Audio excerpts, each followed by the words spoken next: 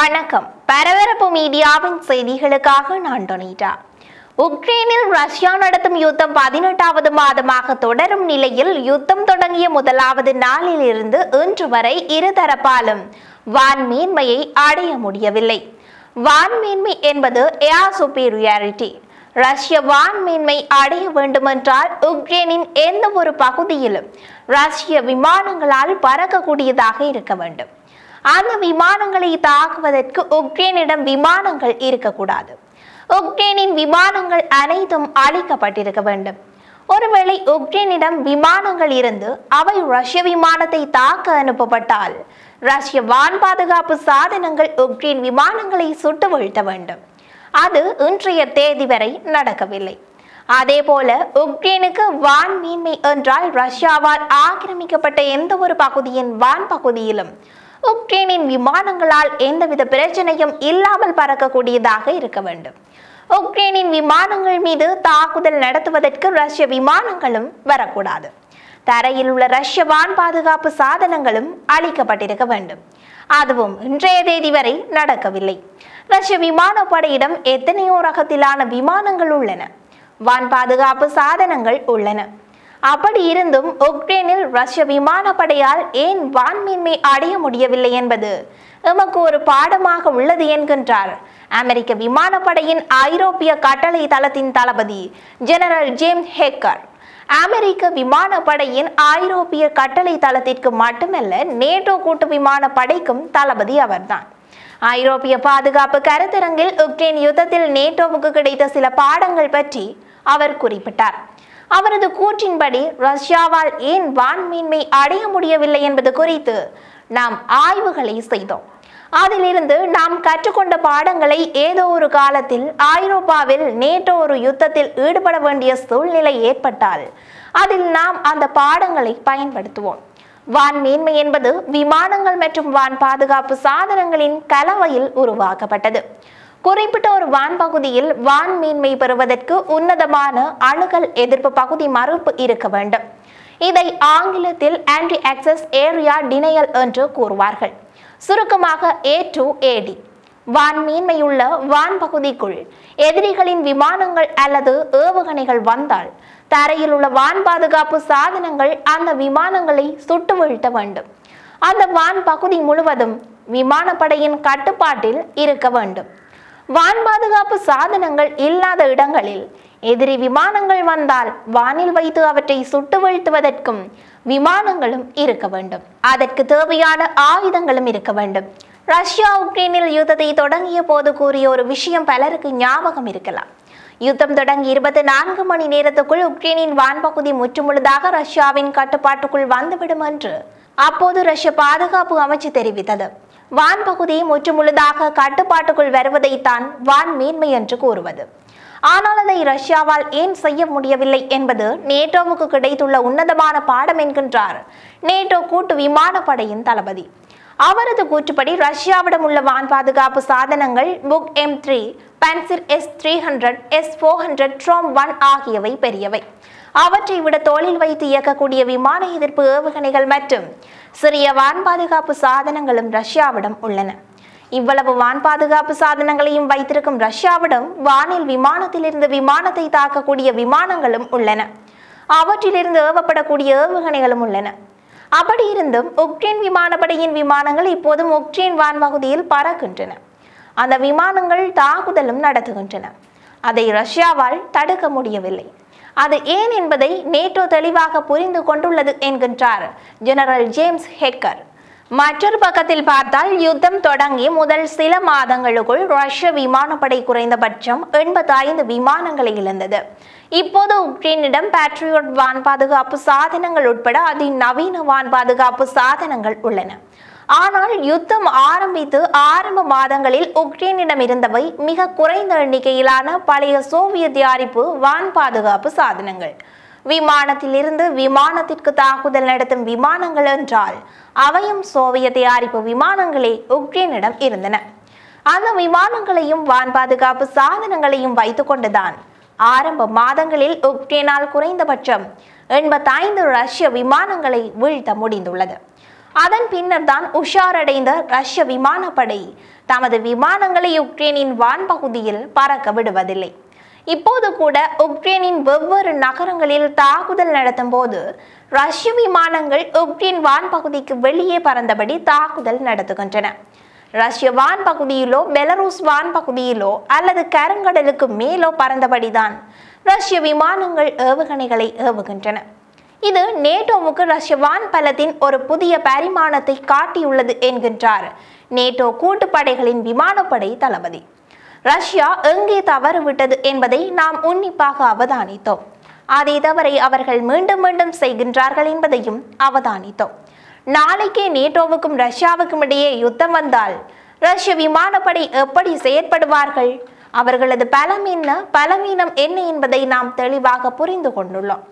முக்கியமாக ரஷ்ய விமானப்படை தமது பலவீனங்களை உக்ரைனில் எமக்கு காட்டியுள்ளது. அந்த அடிப்படையில் நேட்டோ கூட்டு விமானப்படையின் செயற்பாடுகளை நாம் மாற்றி அமைத்துள்ளோம் என்றார் அவர். ரஷ்ய விமானப்படையின் பலவீனங்கள் அவை என்பதை அவர் வெளிப்படையாக தெரிவிக்கவில்லை. தெரிவிப்பார் என்று எதிர்பார்க்கவும் முடியாது. உக்ரைன் யுத்தம் கற்றுக் கொடுத்த பாடம் காரணமாக நேட்டோவின் கூட்டுப்படைகள் ஒன்றிணைந்த செயற்பாட்டை செய்ய வேண்டியது அவசியம் என்பதை தெரிந்து கொண்டோம் என்றும் கூறினார். அது பற்றி அவர் மேலும் விளக்கிய போது நேட்டோ ஒரு யுத்தத்தில் ஈடுபடுகின்றது என்றால் முப்பத்தொரு நாடுகளின் விமானப்படைகளும் ஒன்றிணைந்து அந்த யுத்தத்தை நடத்த வேண்டும். அனைத்து விமானப்படைகளும் ஒரே ரகத்திலான விமானங்களை பயன்படுத்துவது நடக்கக்கூடிய காரியம் அல்ல. சில நேட்டோ அங்கத்துவ நாடுகள் இன்னமும் சோவியத் தயாரிப்பு விமானங்களையும் பயன்படுத்துகின்றன. அதே போலத்தான் வான் பாதுகாப்பு சாதனங்களும். அமெரிக்க தயாரிப்பு ஐரோப்பிய தயாரிப்பு இஸ்ரேலிய தயாரிப்பு முதல் சோவியத் தயாரிப்புகள் வரை நேட்டோவின் முப்பத்தொரு நாடுகளிடமும் உள்ளன. இவை அனைத்தையும் ஒன்றிணைக்கும் பொது மேடை அவசியம் என்பதை உக்ரைன் யுத்தம் எமக்கு கற்றுக் கொடுத்துள்ளது. ரஷ்ய விமானப்படையிடம் உள்ள ரஷ்ய தயாரிப்பு விமானங்கள் சோவியத் தயாரிப்பு விமானங்கள் பழைய மற்றும் புதிய வான் பாதுகாப்பு சாதனங்களிடையே சரியான ஒருங்கிணைப்பு கிடையாது என்பதை பதினெட்டு மாத கால யுத்தத்தில் நாம் அவதானித்தோம். உக்ரைன் யுத்தத்தில் எமது அவதானிப்புகள் ரஷ்ய விமானப்படை பற்றிய தெளிவான பிம்பத்தை கொடுத்துள்ளது. அமெரிக்கா கடந்த காலத்தில் பல யுத்தங்களை நடத்தியுள்ளது. அமெரிக்க விமானப்படையின் அடிப்படை கோட்பாடு யுத்தம் ஆரம்பித்துவிட்டால் தரைப்படைகள் தாக்குதல் நடத்துவதற்கு அமெரிக்க விமானப்படை வான்மீன்மையை உருவாக்கி கொடுக்க வேண்டும். ஆப்கானிஸ்தானிலும் ஈராக்கிலும் அதுதான் நடந்தது. அந்த நடைமுறை காரணமாகவே தரை துருப்புகள் விமான தாக்குதல் நடக்கும் என்ற அச்சம் இல்லாமல் வெவ்வேறு நகரங்களுக்கு போய் அந்தந்த நகரங்களை கைப்பற்ற முடிந்தது. ரஷ்ய விமானப்படையால் அதை செய்ய முடியவில்லை. அவர்களது தரைப்படைக்கும் விமானப்படைக்கும் இடையே ஒரு பொதுவான இராணுவ திட்டம் கிடையாது. அதனால் உக்ரைன் யுத்தத்தில் ரஷ்ய விமானப்படை முழுமையாக பயன்படுத்தப்படவில்லை. அது உக்ரைனுக்கு அனுகூலமாக போனது. மற்றொரு விஷயம் விமானப்படை பரந்துள்ள பரப்பளவு. பரப்பளவில் ஐரோப்பாவில் இரண்டாவது பெரிய நாடு உக்ரைன். அந்த பெரிய பரப்பளவில் வெவ்வேறு இடங்களில் வைத்து அவர்களால் விமானங்களை இயக்க முடியும்.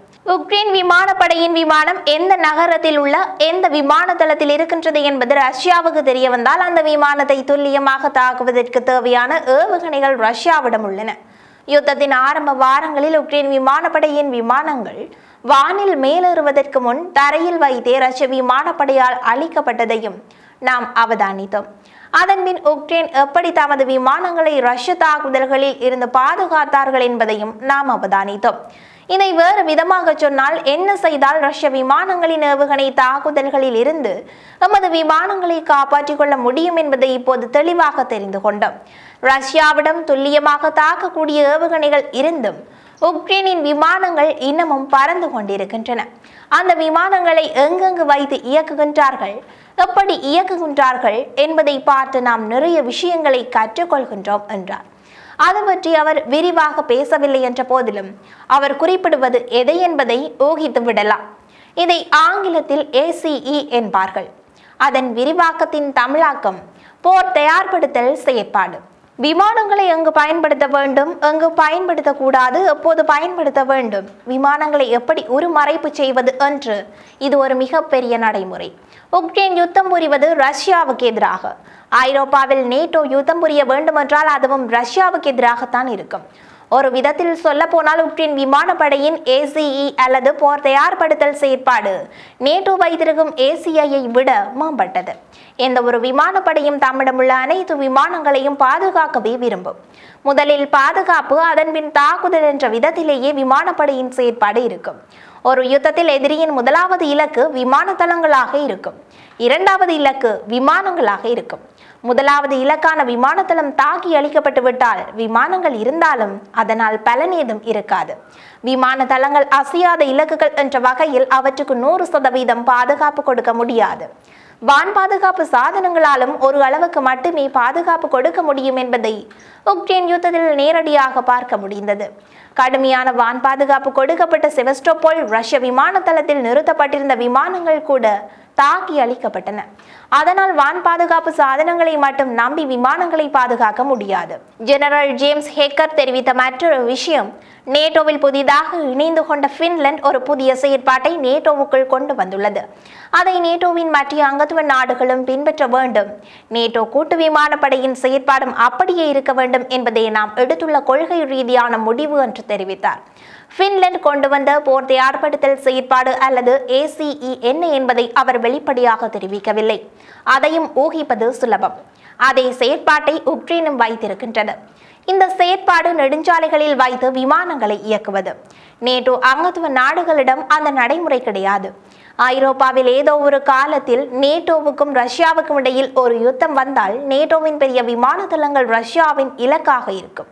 அப்படியான நேரத்தில் இப்போது உக்ரைன் செய்வது போல சிறிய விமான தளங்கள் வெவ்வேறு இடங்களில் உள்ள நெடுஞ்சாலைகள் ஆகியவற்றை பயன்படுத்தி விமானங்களுக்கு பாதுகாப்பு கொடுக்க முடியும். அதை தான் நேட்டோ செய்ய போகின்றது என்று ஊகிக்கலாம். ஜெனரல் ஜேம்ஸ் ஹெக்கர் கூறிய மற்றொரு விஷயம் ரஷ்ய ஏவுகணைகள் பற்றியது. ரஷ்யா தம்மிடமுள்ள அனைத்து வித ஏவுகணைகளையும் உக்ரைன் யுத்தத்தில் பயன்படுத்தியது. அவற்றில் எந்தெந்த ஏவுகணைகளை எப்படியான வான் பாதுகாப்பு சாதனங்களால் தடுக்க முடியும் என்பதை உக்ரைன் யுத்தம் நமக்கு காட்டியுள்ளது.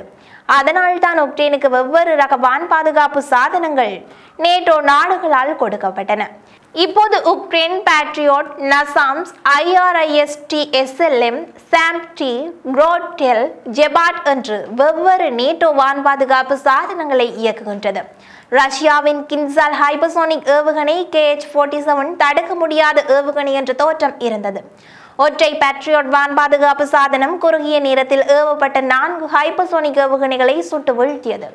நேட்டோ நாட்டை நோக்கி ரஷ்ய ஹைப்பர்சோனிக் ஏவுகணை ஏவப்பட்டால் அதை எப்படி எதிர்கொள்ள வேண்டும் என்று உக்ரைன் யுத்தம் நமக்கு காட்டி கொடுத்தது. ரஷ்ய கப்பல்களில் இருந்து ஏவப்படும் கலிபர் குரூஸ் ஏவுகணைகளை எந்த வான் பாதுகாப்பு சாதனம் தடுக்கும்? கலிபர் பாலிஸ்டிக் ஏவுகணைகளை எந்த வான் பாதுகாப்பு சாதனம் தடுக்கும் என்பதையெல்லாம் உக்ரைன் யுத்தம் நமக்கு தெளிவாக புரிய வைத்துள்ளது என்றார். General James hacker